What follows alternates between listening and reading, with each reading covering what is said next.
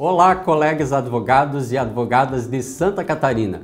Hoje vamos falar sobre dois temas muito importantes para a advocacia: prerrogativas profissionais e honorários advocatícios.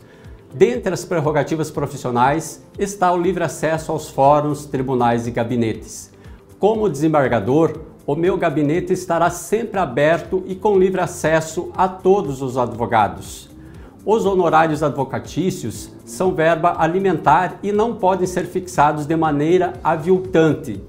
O novo CPC trouxe regras claras de fixação de honorários.